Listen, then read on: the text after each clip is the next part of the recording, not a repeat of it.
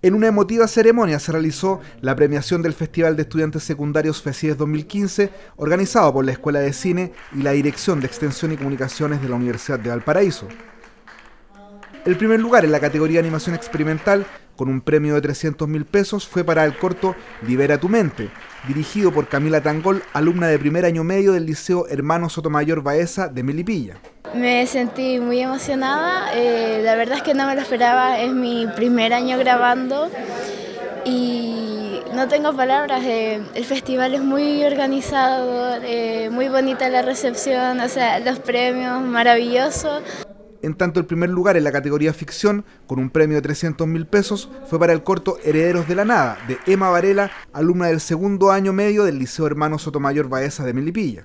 Genial, es una experiencia única, sentirse ahí adelante ganadora es lo mejor del mundo que me ha pasado, así que muy agradecida del festival y de todo.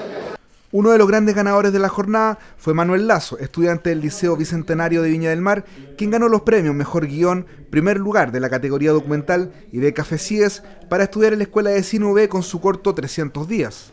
Estoy muy contento, muy orgulloso del festival y de mi trabajo, eh, no me lo esperaba para nada. Eh, para serte bien franco, eh, yo pensé que iba a ganar otro que era mi favorito, pero aún así estoy orgulloso de mi trabajo, orgulloso de que la gente valore temas tan tabú. Según el jurado, su trabajo logra construir un personaje con profundidad, con sensibilidad y precisión, dando cuenta de una madurez en el lenguaje audiovisual.